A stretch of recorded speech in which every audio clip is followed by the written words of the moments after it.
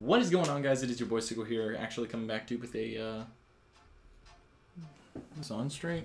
Straight as it's gonna get. Coming back to you with a brand new video today. We're playing some Call of Duty. Uh, just got into a ground war, because I can play ground war now. All I had to do was, you know, dismantle all my pack. The fuck did I join? This guy's 38 and 6. I'm not, I'm not dealing with that right now. So today I was at work, and so basically what we do is we have a stock up where we put our food and, like, the truck brings in all the food inside. We'll put that in. So this truck came up and I was totally ready to do what I was supposed to do and like do my job and everything. So the truck would come in and like basically everything would go down a belt and then we have a rack set up so that we can like transfer shit over. Thanks teammate for paying attention by the way. What's the point of having a sniper on your back if you're just gonna run around with a Rafka kid? Please explain to me what the point is.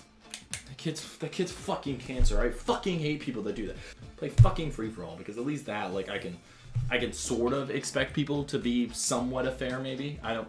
If you couldn't tell, I'm kind of, I'm just a bit triggered by, by some of the people that I'm playing. Anyway, so what would happen is you would throw it on the belt and then you would slide that to the other person and then that person would put it away. Well, they put me in the freaking fridge and I didn't really know where anything went. Like I was telling them, I was like, I usually do this up top. It'd be nice if you guys could put me up top because usually I do this up top and you, when you go up top, like literally all you do, all you do when you're up top, put the stuff on the belt and then they will take it down themselves, which makes it pretty pretty easy for you. And usually that's like the easier part of doing what we call, it's called Brower, by the way. Um, it's the easier part. This one guy was looking at me and he's like, yeah, you're, you're sorry, but you're not, you're not doing it. I usually like to do the, the up top part and they weren't going to let me do the up top part. So I was like, okay, well, whatever then.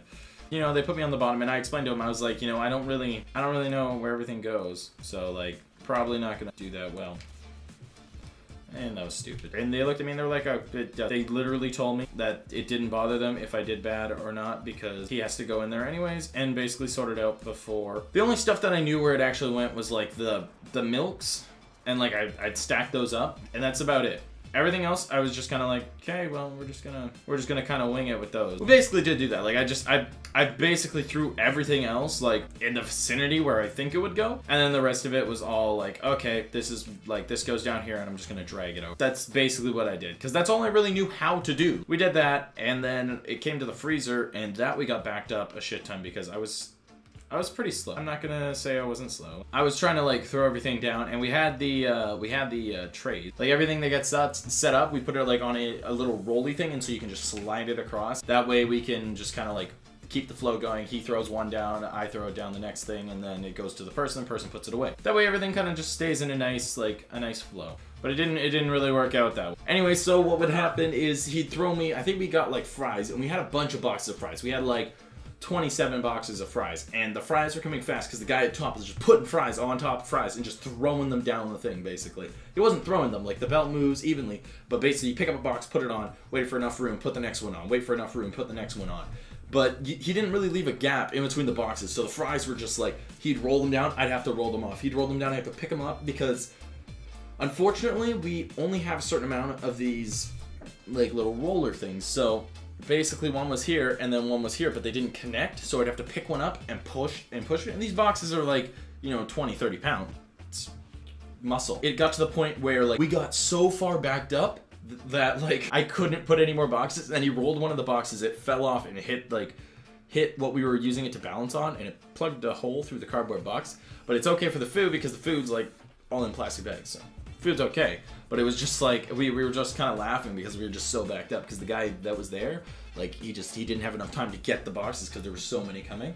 And what we did is we balanced the last one, the last roller, which was going on a downward slope, so we had enough like room to put most of it on. Uh, we balanced the last one on McNugget boxes, so it would make it would, it would hopefully make things easier didn't make things easier.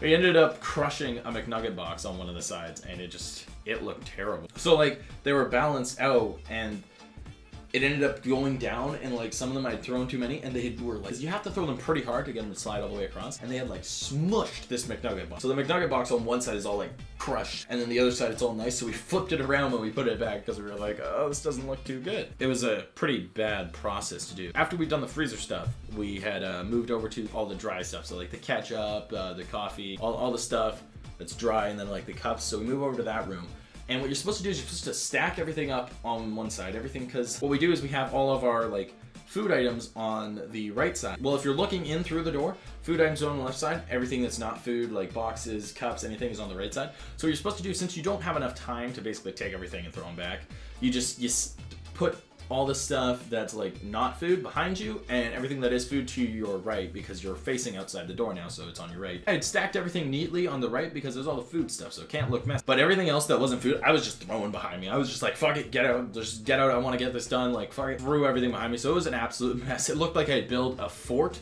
out of cardboard boxes and shit. Like it honestly looked terrible, and I felt so bad because I wasn't the person that had to go through and sort that. Fuck it. So yeah, that's about everything for the video today. Peace.